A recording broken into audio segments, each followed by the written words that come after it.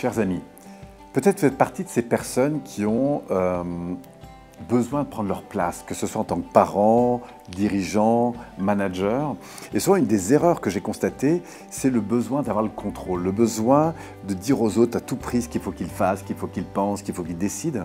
Or, il est très intéressant de constater que si vous inversez le système, si vous vous ouvrez véritablement à l'autre en l'invitant à décider par lui-même, à ressentir par lui-même, à évaluer par lui-même, eh vous allez voir que vous allez contribuer à énormément de développement de l'autonomie. Si vous avez vous aussi envie de découvrir ces techniques qui permettent de croître, de faire grandir les personnes, je vous invite à découvrir cette vidéo où je vous parle des outils de la PNL comme des outils fabuleux pour aider les gens à prendre la pleine possession de leur autonomie. On se retrouve très vite pour en savoir plus.